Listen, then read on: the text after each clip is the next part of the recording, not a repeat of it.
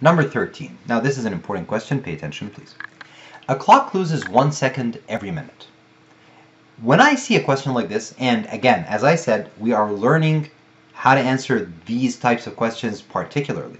There's a very good chance of seeing the same question or very similar one on the test. So here's what I do.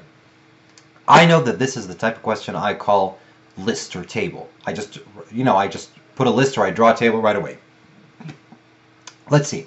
A clock loses one second. So I go, okay, loses one second. Pay attention, guys.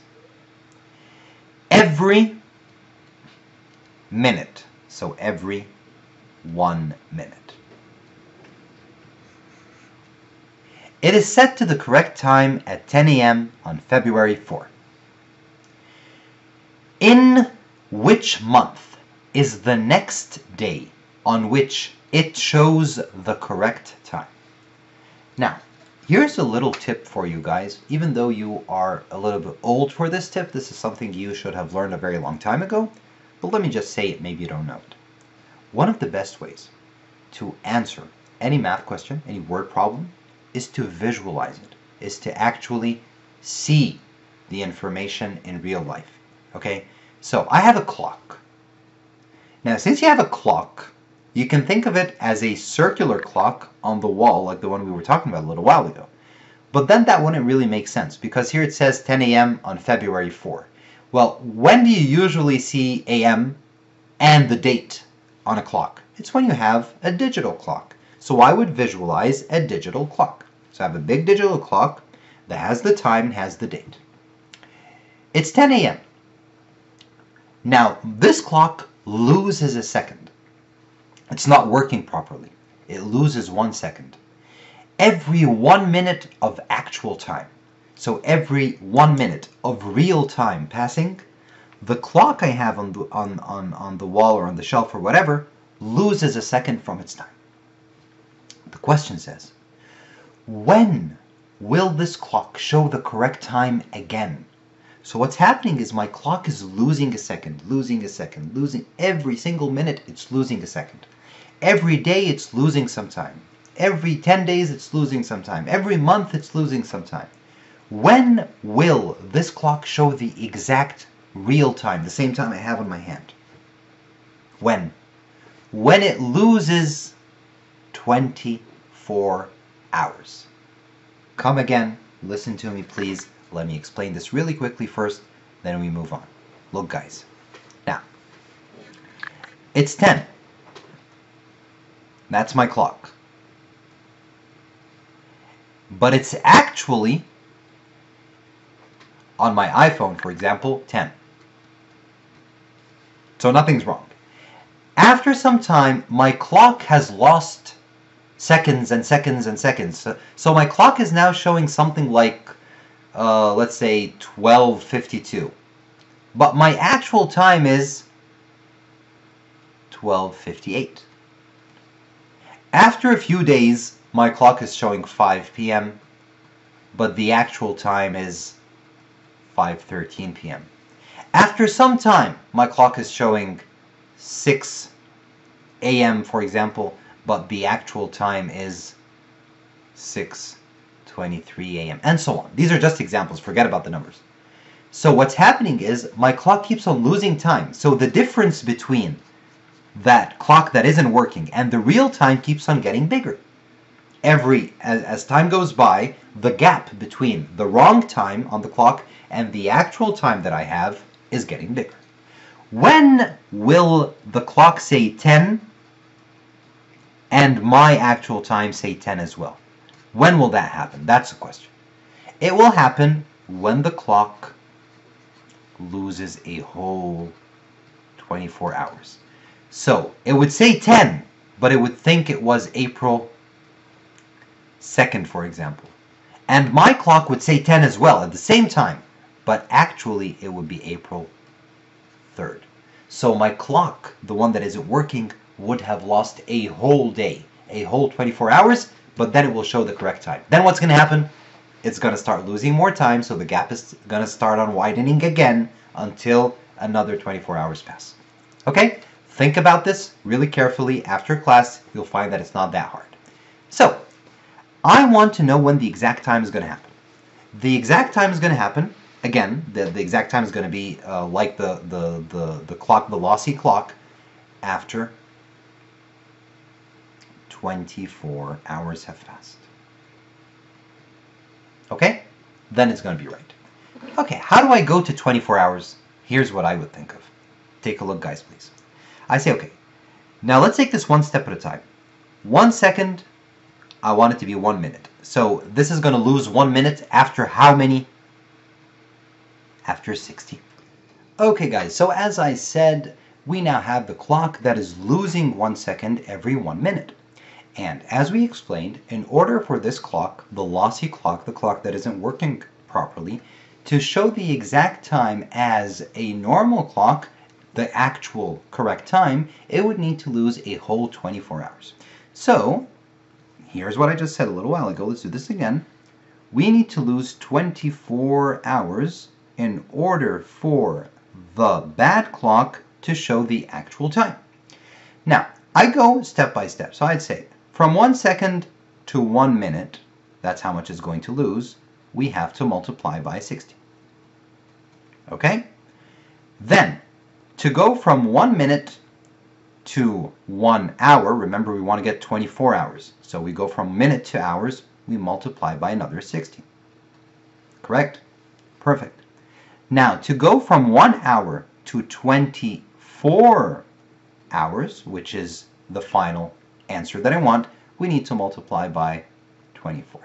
Now remember that every time this clock loses something, it also relates to the actual time, which is what I'm trying to look for. Now, one second, it loses one minute. We know that. I multiplied by 60 here, so I need to multiply by 60 here too. One minute times 60 becomes one hour. Okay, perfect. Then I multiplied here, so I multiply again here. 1 hour times 60 gives me 60 hours. Okay, very good. Then in red, I multiplied by 24, so I do the same thing here, times 24. Now, what's times 24? Take a look at this. It's going to be 60 hours, that's what we already have, times 24. Now, should I try to multiply? No, don't. Take a look. Hours times 24. What is 24 hours? It's a day. So 60 hours times 24 is like saying how many days? It's like saying 60 days because it's going to be 60 times 24 in hours. 60 times 24 hours is 60 times one day, so 60 days. So the clock is going to lose 24 hours every 60 days. So how much time will pass before this clock shows the actual time? 60 days must pass. That's approximately two months. It was February 4, so March, then April. The answer is C. Easy? I think so. Okay, next one. Number 14. For approximately how many million seconds have you been alive? Okay, so the, this question is for you, not for me. So how old are you guys? You're like, what, 13, correct? So you're 13 years old, and I want to find how many million seconds you have been alive. Okay, that's easy. 13 years, years. We want to change that to hours. Okay, so we go times 24. This gives us how many hours you've been alive. Right? Of course not. We have to go times days first. Okay, let's do this again. Pay attention. So 13 years, we go times 365, and that's the approximation for how many days there are in a year. 13 years times 365 will give you how many days you have been alive. Okay, perfect. Then, times 24, because this is how many days you're alive, will give you a number that is how many hours you've been alive. Okay, then we move on and we do times 60. That will give you how many minutes you've been alive. Okay, then we move on and do another 60. that will give you how many seconds you've been alive. Okay, question. Why didn't I actually multiply each of these? Because I don't want to, you know, I don't want to go there. That's These are a lot of numbers. Let's just write them first. Maybe there's some kind of shortcut here. So, let's go. 13 years times 365 days times 24 hours times 60 minutes times 60 seconds. How many million seconds have you been alive? Okay. Now, in order to do this, I'm going to try to do a little trick. If you look at the answer choices, there's 4, 40, 400, 4,000, 40,000. So there's basically an increment here, multiples of 10. If I try to just find out how many zeros there should be or how many digits there should be, I'd be able to get the answer right away. Now let's take a look. Here we can use approximation, especially because it says approximately. What I'm going to do is I'm going to approximate to the nearest tens. Okay, so I, I want all of the numbers to be in ending in zeros. Okay, so here's what I'm going to do. 13 is going to be 10.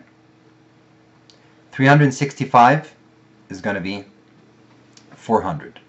24 is going to be 20, 60 and 60 are going to stay 60 and 60. Okay, because I, I don't want to go like really far. Now, let's count. If you multiply these numbers by each other, how many zeros do you get? 1, 2, 3, 4, 5, 6. 1, 2, 3, 1, 2, 3. Six zeros. Okay? Now let's multiply the tens or the hundreds or whatever other digits we have. So 1 times 4 is 4. 4 times 2 is 8. 8 times 6 is going to be, what's 8 times 6? 48. 8 times 6. Okay, 48. 48 times 6, approximately 50 times 6, that's what? 300. So we have something like 300. So, how many million seconds? Here are your million seconds. So about how many million seconds? About 300 million seconds. So the answer is probably going to be C, because 300 and 400, they're both in the hundreds. So that's probably going to be the best answer. Okay, this is the fastest way to do a question like this. Okay, last question, number 15. I want to cut a piece of wood into five shorter pieces. The first cut takes two seconds, and then each subsequent cut takes um, twice as long as did the previous one, how many seconds will the job require? Now, of course, uh, when I do this with, with some of my students, they, they sometimes ask me a question, and they're, they're right. This should have been written in a better way. Again, this is uh, a BCA question. I didn't write it.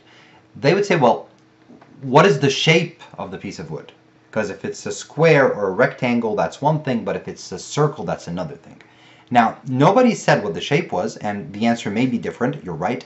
However, if I say a piece of wood, what comes uh, to, to most of our minds would be uh, like a log, like a rectangle, right? Okay, so here's a piece of wood. I want to cut this into five shorter pieces. Now, here's a very important part, uh, something that I said today. I said, guys, you need to visualize a question. Whenever you read a question, a word problem, you need to visualize it, actually try to see it, because it makes things much easier. Now, for those of you who don't want to visualize it or don't want to draw anything, here's what they would do. They'd say, okay, the first cut takes two seconds. Then each subsequent cut takes twice as long. So let's say, okay, so it's 2, and then 4, and then 8, and then 16, and then 32. 1, 2, 3, 4, 5. I ask him, why did you say 5? It says here, it says 5. Okay, now add these numbers up. 2 plus 4 is 6. 6 plus 8 is 14. 14 and 16 is 30. 30 and 32 is 62. So let's say the answer is E. Wrong. Why? You need to visualize. Well, are these numbers wrong? No, these numbers are right. Okay, let's visualize. Here's your piece of wood. The first cut takes two seconds. The second cut takes four seconds, correct.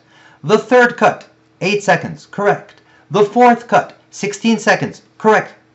And then that's it. Why? Because if you use four cuts, you get five pieces. So we're not going to use this. Now the answer is what? 2 plus 4, 6. 6 plus 8, 14. 14 plus 16 is 29. Is that right? Nope. Now, why did I get this wrong? Because I tried to add the numbers in order and I made a mistake while I was adding these numbers. And this is something that could very well happen on the test. You guys were lucky because there was no 29 in the answer choices. Okay, if I'm going to add numbers like this on the test, especially on the test, you're going to be stressed out. You won't really be, you know, feeling that um, confident sometimes. You need to actually focus when you're adding or subtracting numbers, even if they're very easy numbers like this. One trick is to try to group numbers that give you a 10 together. For example, I'd say, okay, 2 and 8 is 10. 4 and 16 is 20. 20 and 10 is 30. That's an easier, faster, and more efficient way to add even easy numbers like this on the test. So the answer is D, 30 seconds.